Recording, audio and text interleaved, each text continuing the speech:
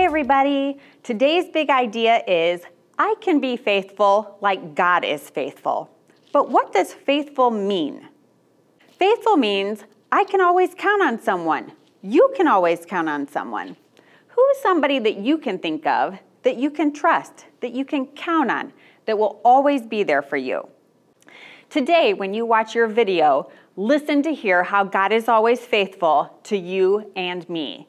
And don't forget to read in your Bibles in Isaiah 64, verses 1 through 9.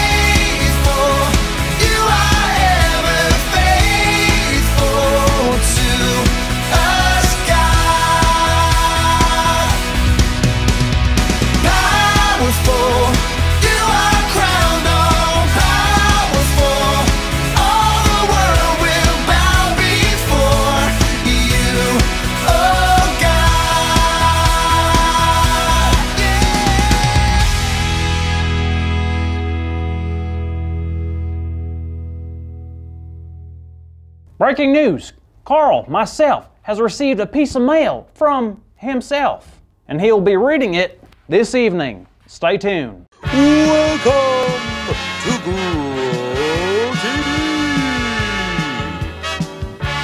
Hosted by Carl. Where we have fun with our friends, talk about Jesus, and go over everything the Bible has to offer. Now, once again, welcome to Grow TV. Y'all, I am so excited. Let me tell you why. So, one year ago, I wrote a very special letter to a very special someone in my life. Someone who I love, who I look up to tremendously. Someone who will always have a very special place in my heart. This person's name? Carl. Me. It's me. I was talking about me. So, you're probably wondering, Carl, why'd you write yourself a letter? What I did was wrote down some goals and dreams I hope to get done within one year. Then I promised myself I would work really hard to reach all my goals and to accomplish all my dreams. Hey, Carl. Cassie, how are you? I'm good. You know what today is, right? Is it Iron Man's birthday? No, you know that's in April. No, today is one year since we wrote letters to ourselves. I know, right? I'm so excited. Want to read yours first? Sure. I hope I kept a promise to myself and finished all the things that I hope to do. Me too. Alrighty. Let's see here. My number one goal was to finish schooling. Done.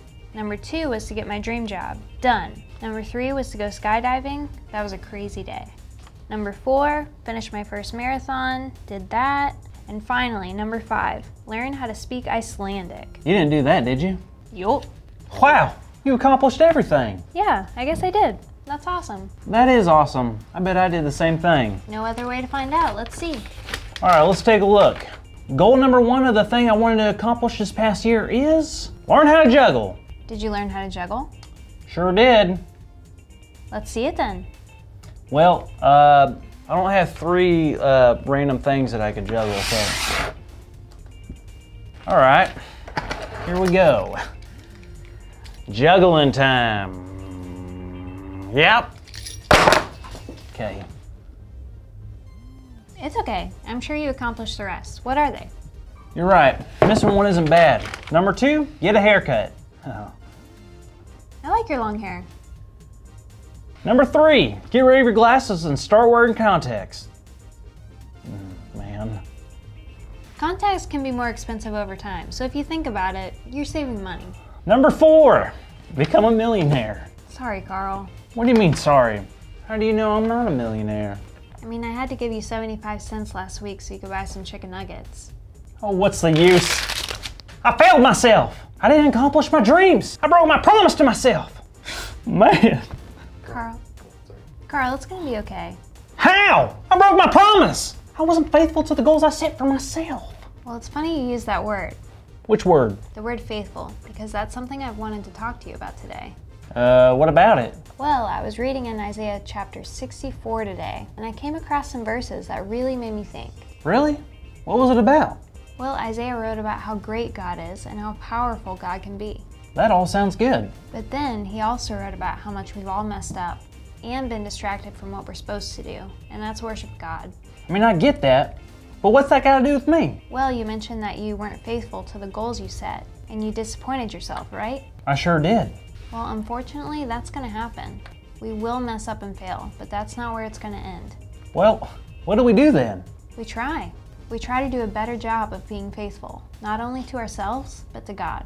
And when we fail, we try harder. The important part is to keep on trying. That sounds good, but it also sounds tiring though. It might be sometimes, but we choose to be faithful to God because God was faithful to us first. And God wants us to be people of our word too. Like, not lying stuff? That and staying faithful to God. God never stops loving us, so we need to keep on following and loving God. Sometimes things happen that we can't explain, things that aren't so great, but we can't turn on God like people in the Bible did sometimes.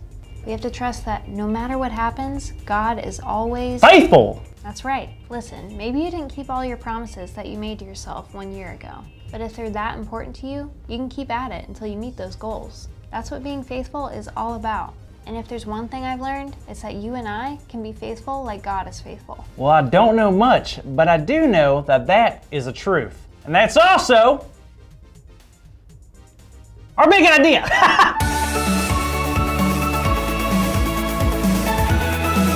Today's big idea is I can be faithful like God is faithful. So let's say it out loud on the count of three. One, Two, three. I can be faithful like God is faithful. Yes, yes, yes. I can. She can. You can. Be faithful. Just do it. Nike. so Carl, are you ready to make a list of new goals? I sure am. Number one, learn how to juggle some chainsaws. I don't think that's such a good idea. You're right. Learn how to juggle chainsaws on fire. Oh no. I guess we'll see you next week, kids.